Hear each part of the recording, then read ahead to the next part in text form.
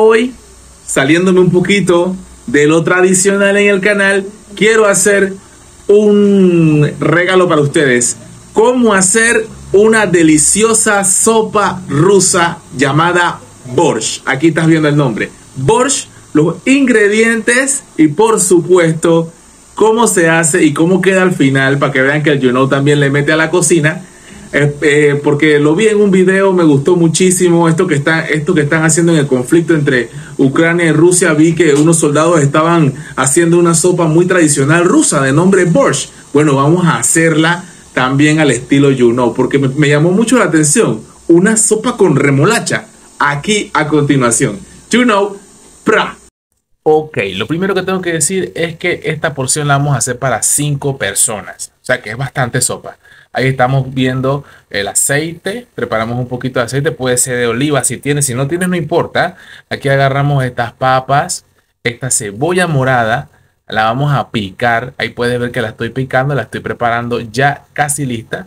Limpia. Yo la corto así. Cada uno tiene su estilo, por favor. No se metan con eso. Ahí la estoy abriendo. Bien, ahí está. La cebolla morada. ¿Verdad? Ahí la estamos preparando. La picamos. La picamos bien, bien pretty. Ahí la estamos picando. Queda así, así, la vamos a sofreír. Mira cómo va haciendo. Excelente, una fragancia bien deliciosa. Ahora echamos unos pedacitos de ajo. Dos dientes de ajo yo agarro ahí. Con dos dientes de ajo tiene, ¿verdad? Entonces yo lo estoy picando. Eh, los dientes de ajo y los depositamos aquí en el recipiente. Ahora vamos a introducir lo que es la carne.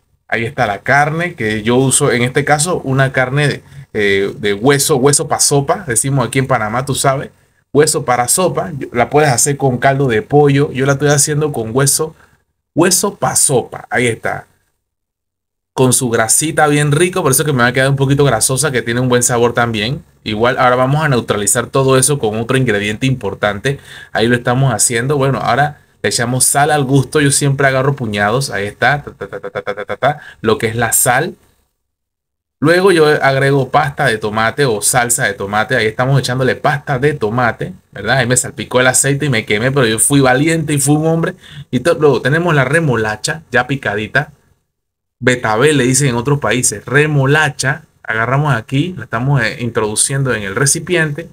También vamos a echar lo que es la papa y entonces la ponemos a hervir. Esperamos como unos 20 minutos, ¿verdad? Que hierva bien todo eso allí. Luego de eso, luego de eso te queda así. Ahí está mi plato de borscht. ¿Qué les parece? Deliciosa.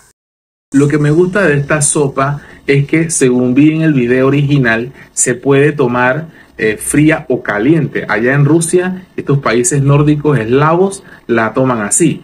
Pero yo la recomiendo caliente porque aquí en Panamá estamos acostumbrados a tomarla así. Entonces el borscht, que es más bien como si fuera una sopa de remolacha con otros vegetales, puedes agregarle zanahorias si deseas, yo la hice con lo, como decía mi difunta abuela que en paz descanse, con lo que tenía, con lo que hay. Así está lo que es la sopa Borscht, una sopa rusa muy sabrosa, de verdad eh, eh, quedó deliciosa y yo espero que ustedes también la puedan hacer. Y esta receta del Know, un estilo diferente, algo distinto aquí en el canal Know. Espero que les haya gustado. Es muy nutritiva y muy buena para la hemoglobina, para la, para, para la salud, buenísima. Know.